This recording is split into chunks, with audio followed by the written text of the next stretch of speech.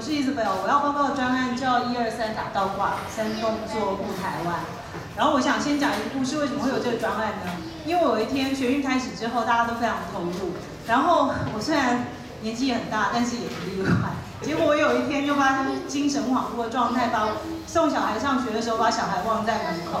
然后我就开了大概三个 block 之后，看到别人牵着小孩，我才相信，我才忽然发现说。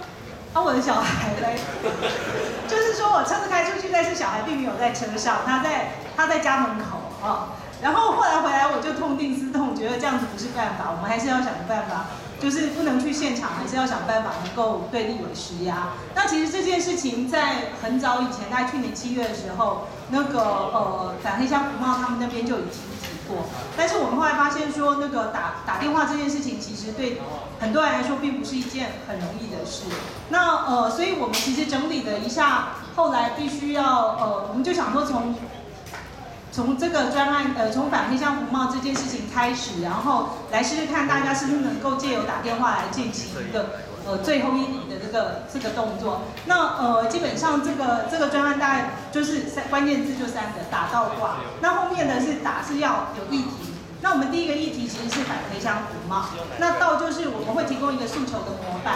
那个呃诉求模板里面就是基本上就是基我先打了一次，然后我把大概现在有的呃就是现在有的呃诉求整理出来，然后做很短，大概一百字以内的一个模板，然后提供大家做参考。那这样大家看了以后就知道说大概你打去的时候要讲些什么。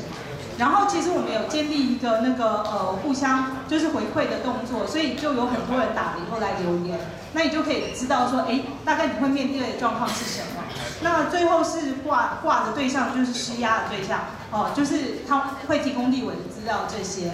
那其实这个已经有呃有网站上线了，但是我们希望说能够再更更精进，然后包括把后面的议题再能够继续拉进来。那呃其实。我们发现，呃，效果其实蛮好的，因为我们打到最后，有有有网友回馈说，你打去你不用讲，对方就把你后面要讲的全部都念出来给你。对，所以呃，我们其实希望征求的人是，呃，我们现在征求的人其实是议题管理，呃，就是能够统筹议题的人，然后还有呃，这个怎么？